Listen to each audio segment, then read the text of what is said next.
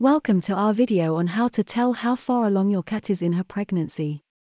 If you suspect your cat may be pregnant, it's important to know how far along she is so you can properly care for her and prepare for the arrival of her kittens. The first thing to look for is a swollen belly.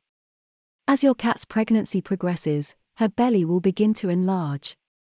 However, it's important to note that a swollen belly doesn't always mean a cat is pregnant, as cats can also gain weight due to other factors such as overeating.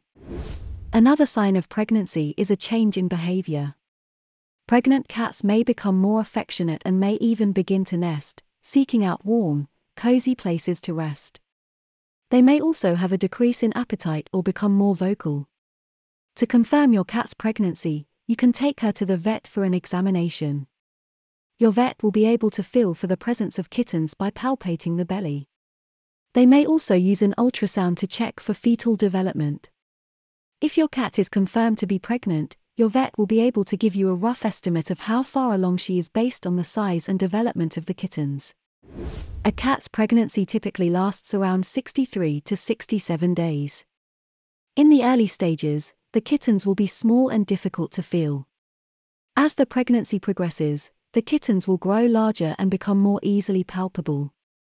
It's important to keep in mind that every cat and pregnancy is different, so the signs and timing may vary. It's always best to consult with your veterinarian for the best advice. Thank you for watching. Remember to provide your pregnant cat with a healthy diet, plenty of rest, and a comfortable place to deliver her kittens.